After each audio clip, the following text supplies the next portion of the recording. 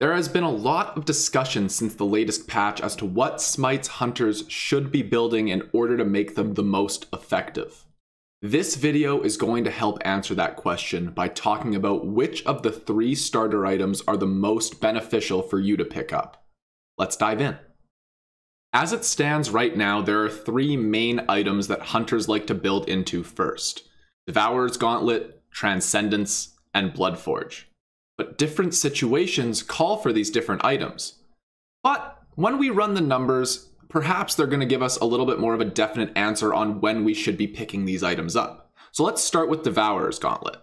This item costs 2300 gold and you get 30 power and 15% lifesteal when you purchase it. After you build the 70 stacks on this item, this is going to change to 65 power and 29% lifesteal. So per 100 gold spent, we're going to get 2.8 power and 1.26% lifesteal. Now let's move on to Transcendence. For 2600 gold, you get 35 power, 300 mana, and 10 MP5, which is just mana per 5 seconds, before we start stacking. After stacking, this item gives us 10% cooldown reduction, and based off of per stack metrics, we get 750 mana.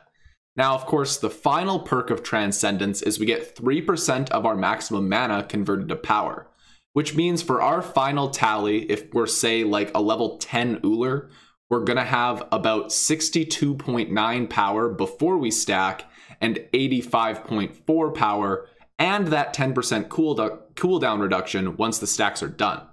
So per 100 gold spent, Transcendence gives us 3.2 power, the mana, and the cooldown reduction.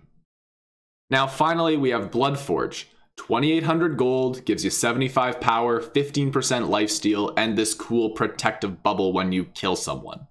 The big plus of building Bloodforge is there's no time spent stacking. When you buy this item, you're just going to get these stats.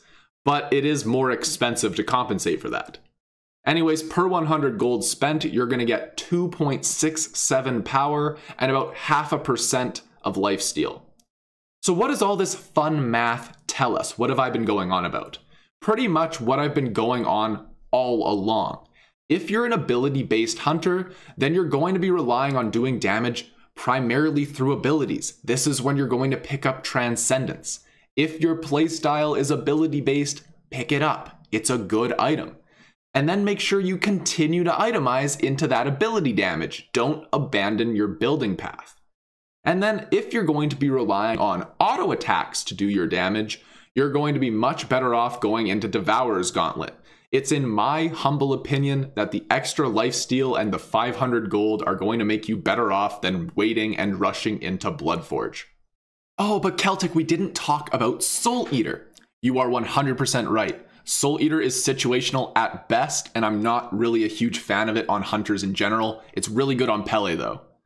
Now, don't forget, subscribe if you're new, and if you want to keep learning more about Smite, click on that video on your screen now, and I'm going to see you there.